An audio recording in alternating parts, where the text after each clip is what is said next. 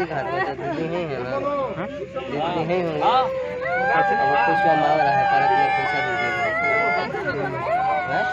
तो दे दिए हैं दीदी के हाथ में दे दिए तो रुकिए मिली कोई बातें तो बोलिए। ना कि अभी इमली चल रहा है अभी रुकिए थोड़ा आपका बात रखेंगे हम। बोलिए उनको।